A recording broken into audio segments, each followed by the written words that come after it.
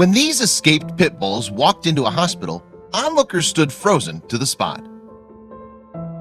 The hospital staff were just going about their daily business when the dogs walked through the front door. What's more, a female visitor who had heard a lot of bad things about the pit bull breed was in the lobby that day.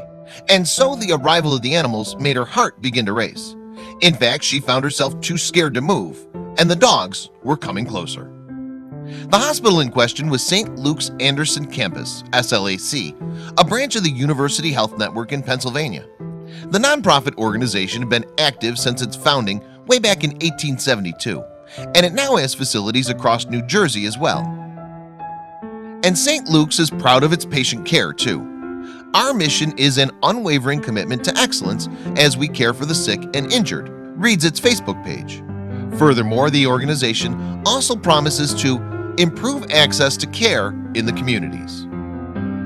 What SLAC didn't expect, though, were the two arrivals that walked through its door one day in July of 2017. Yes, these new faces seemed rather intimidating and even caused some of the hospital's patrons to freeze in their tracks. So just who were the visitors to the hospital that day? Well, the unexpected arrivals were actually a pair of powerful-looking dogs, and they weren't just any powerful-looking dogs either. The two visitors were pit bulls. The breed doesn't have the best reputation and, in fact, was originally employed for blood sports. But while the barbaric practice has long since been made illegal, the media is still rife with stories of pit bull attacks. It's completely understandable then that some people in the hospital were stunned into stillness by the pair. Indeed, as can be seen in the footage captured by SLAC security cameras as events unfolded, it seemed that the two dogs caused some apprehension by their mere presence alone. Yes, the pair of pooches caused quite a stir when they wandered into the lobby of the SLAC's Cancer Center. And the doggy duo didn't stop to ask for directions either, as they headed past a bemused-looking woman at the entrance. So did these savage animals attack the hospital visitors and staff? Well, thankfully the only danger that the pooches posed was potentially hitting someone with their wagging tails. Yes, the pair were pretty placid, and they subsequently headed further into the building, where they found someone to ask about a therapy dog vacancy. The hospital employees had other ideas, though, and tried to show the dogs to the door.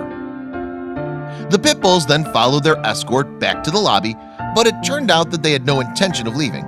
Instead, the dogs dashed off down a corridor and vanished out of sight, much to the amusement of the woman who had arrived behind them. But while the pair of pooches may have seemingly vanished like Houndini SLAC's cameras were still following their adventures, and the duo had now found their way to the pharmacy to see if they could get a prescription for some fuss and belly rubs. What's more, the room was empty, so they didn't even have to wait in line. Amused by the canine capers, SLAC subsequently moved to describe the events on its Facebook page.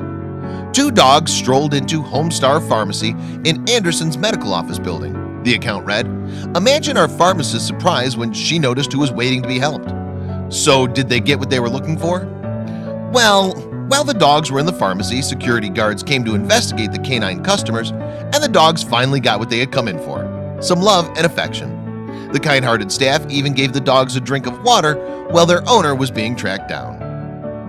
Security subsequently put some leashes on the dogs and attended to the animals' every need until the police arrived.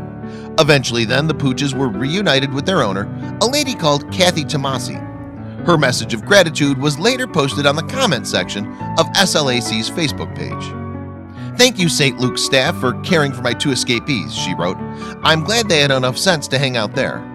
Tomasi subsequently revealed that she was devastated when her beloved pets, Nero and Emma, had run away and she explained the circumstances around their escapades.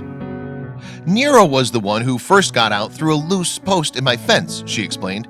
Emma came and told me, and as she ate and drank, I ran upstairs to put on my shoes to go and look for the boy.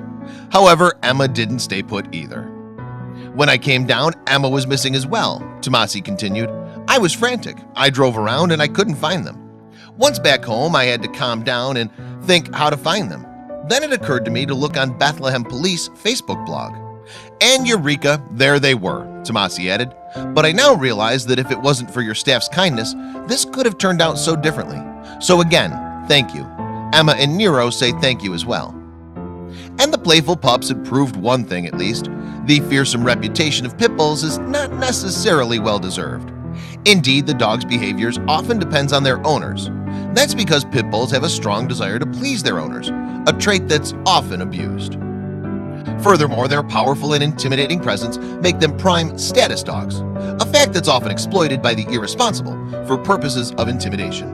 And that's a far cry from the playful pups seen wandering the halls of St. Luke's. Thankfully then, SLAC was not taken in by the bad press that the breed receives. The dogs enjoyed the accessibility and welcoming employees at St. Luke's Anderson campus, the organization wrote on its Facebook page. We're pleased to say that both dogs are safe and sound at home with their owner. It truly was an unexpected but amazing experience that no one will forget.